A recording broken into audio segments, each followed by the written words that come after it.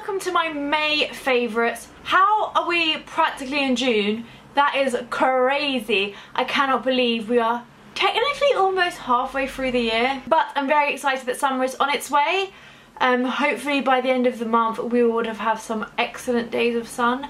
Fingers crossed because I need some sun. But let's get started with this month's beauty favourites. So the first item I'm going to start with, I just took out of my shower and it's the Rich and Famous shower and, and bath body wash from Soap and Glory. I love this because it's a great size, it's really nice and big, it smells incredible, it lathers beautifully and I love the pump. I think Soap and Glory do like, stuff like this really really well but this one smells incredible. It smells quite pistachio-y, is that a word? I'm sure it's not but it smells quite a lot like pistachio and I just love it so much. Definitely worth checking out if you like Soap and Glory or you like pistachio scent because this is amazing. Then a product that I don't necessarily think you need, but I've really enjoyed using this month, is the Omorovicza Queen, Queen? Queen of Hungary Mist. I can't speak today guys, sorry. Um, I've used a fair bit and I also have a mini one which I'm almost out of. Because it is Omorovicza, it's quite a luxury product. I'm not 100% sure how much it is but I'm assuming it's not going to be cheap. Lovely glass bottle. I love this before my skincare and after my makeup.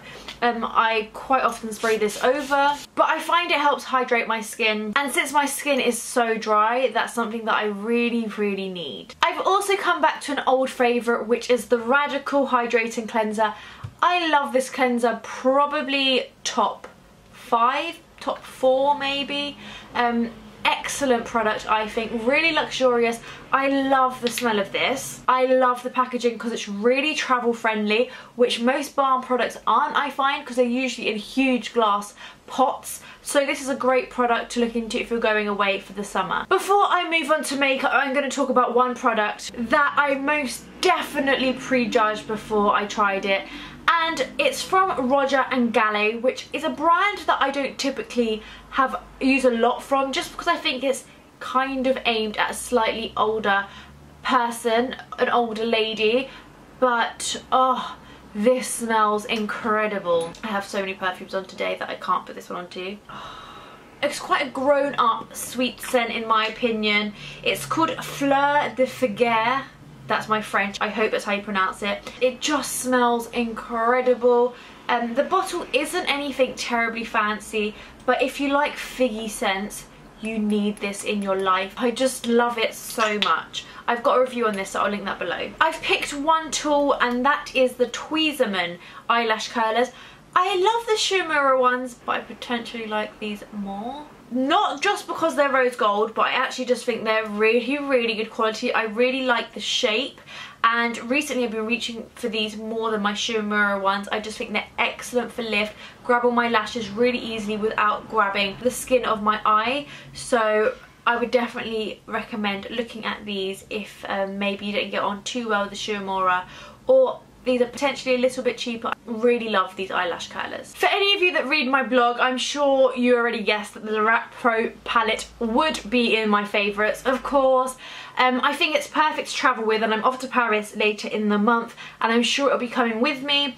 Um, I'm going to leave a link below to my blog post and in that blog post there's a link to where you can get it in the UK. But it's a really beautiful palette because it's streamlined which is excellent. It's got eight matte shadows and eight shimmery shadows all beautifully pigmented, all stunning colours.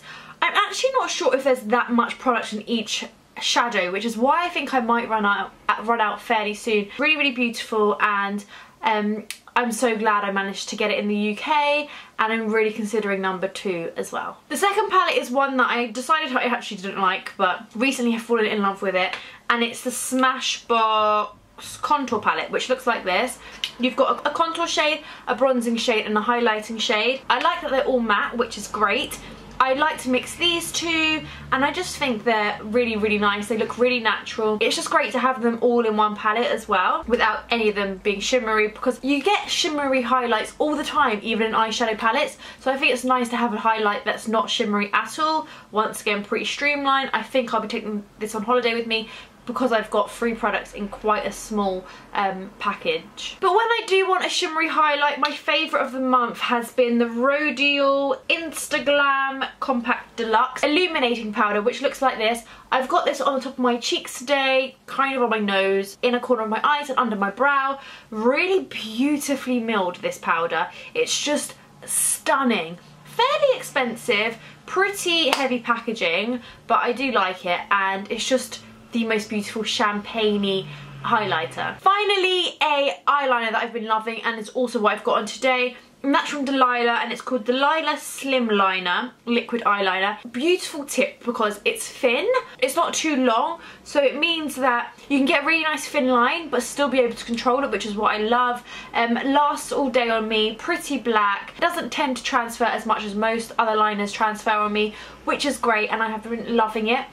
I also wanted to pick the Delilah eyeliner brush. It's excellent, but I can't find it, so I'm sure I'll save it for another video. That's the end of my May favourites. I hope you enjoyed it. Let me know in the comments what video you'd like to see next. Like this video if you enjoyed it, and don't forget to subscribe. And I'll see you all in my next video. Bye!